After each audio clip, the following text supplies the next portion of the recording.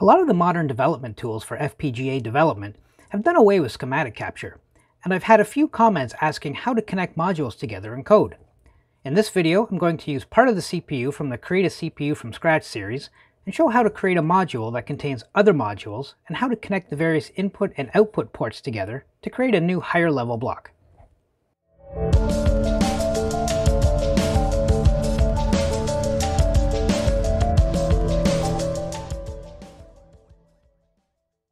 Hello and welcome to 100 Random Tasks. I'm your host, Philip Lett, and if you like what you see here, please give us a like and leave a comment, and subscribe if you want to be notified when more videos are uploaded, and it would really help the channel.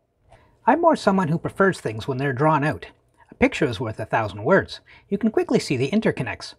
Using the outline of the CPU from previous videos, it's easy to see how all the individual blocks connect together.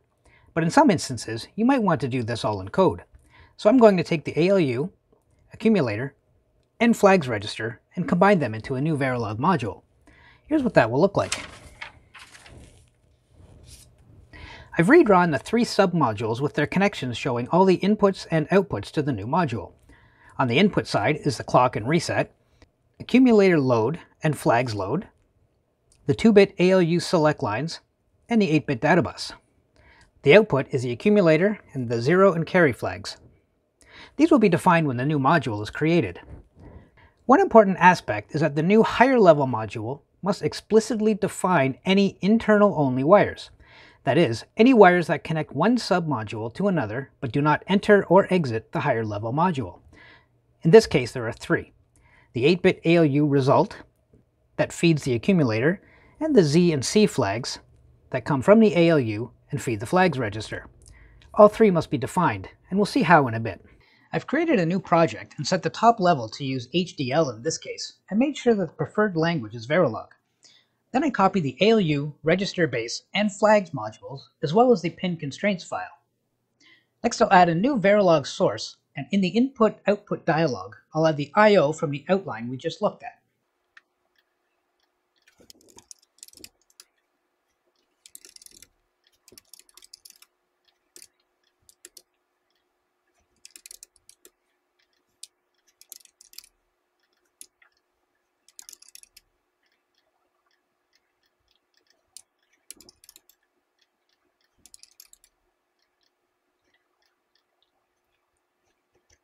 With that created, we have to set this file as the top level.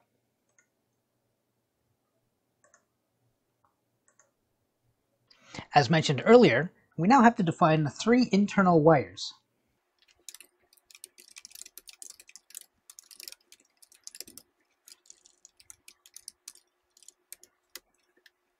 Now we are ready to connect the modules together. The format for this is the source module name a unique name for this particular instance. The source module IO port name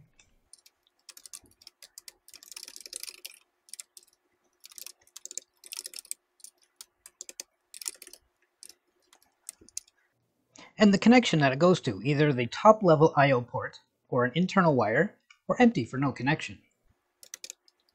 And you carry on for every port from that point on. Starting with the flags register, I'll connect the four inputs and two outputs.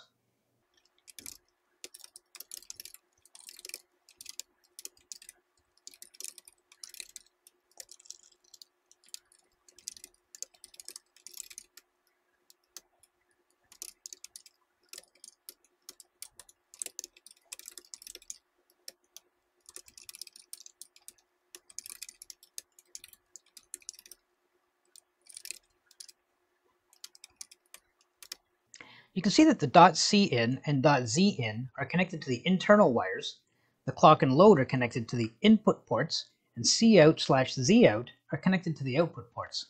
If one of the source module I.O. ports are unconnected, then you can leave it out altogether or leave the connection in the brackets empty. This would be the preferred way so you can see at a glance that there is an unconnected port. With the flags done, I'll create the ALU and accumulator connections.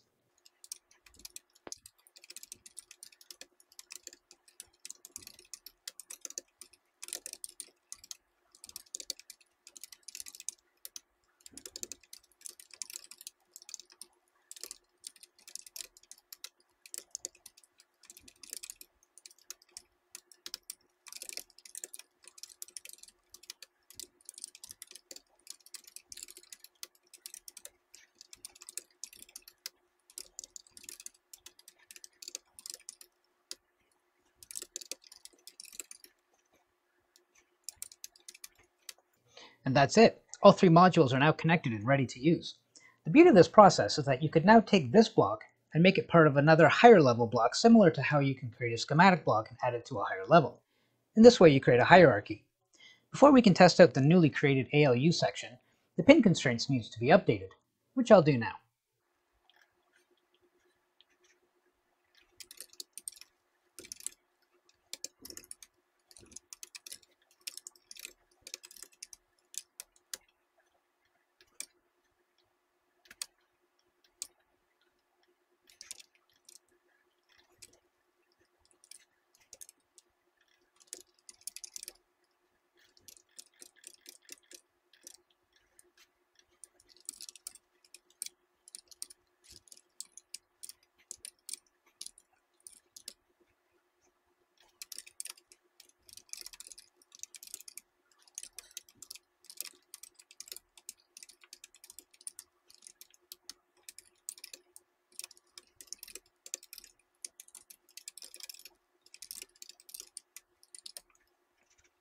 To save us from having to put pull-up resistors for the input switches on the test circuit, there's a handy command to add to the pin constraints that will enable onboard pull-ups for us.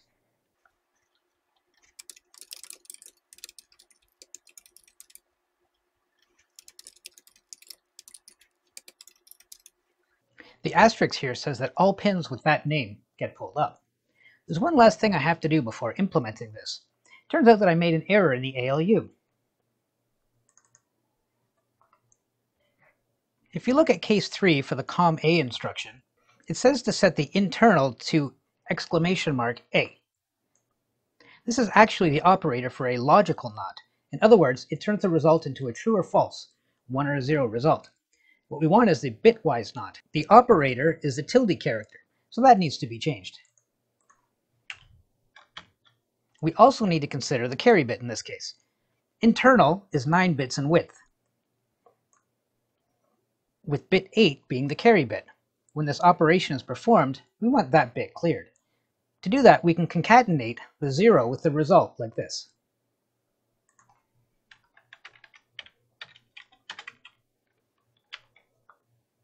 With that fixed, now I'll implement and generate the programming file.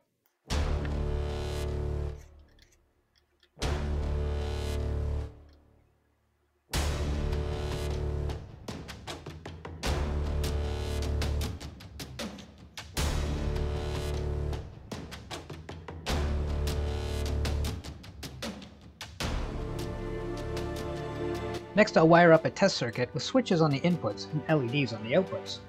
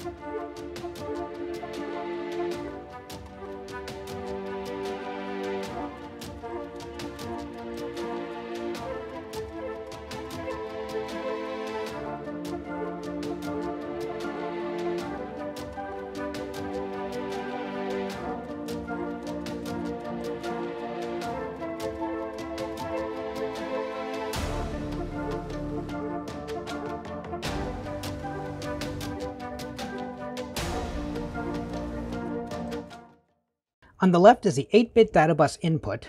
Next to that is the 2-bit ALU select, followed by the carry bit, 8-bit accumulator output, and zero flag. The three wires on the top right are the accumulator load, flags load, and the reset. I'll leave all three of them tied high since we want to see the changes on the outputs when the clock is cycled. First, I'll load the accumulator with 80 hex by setting the input to 80 and the ALU select to 01 for pass-through and cycle the clock. Now the output shows 80. If I now change the operation to add and cycle the clock, the sum of 80 and 80 is 100 hex. So the carry flag should be set, the output should be 0, and the 0 flag set. Exactly as expected. Everything appears to work. Let's check the updated complement function. First, I'll set the accumulator to AA in hex.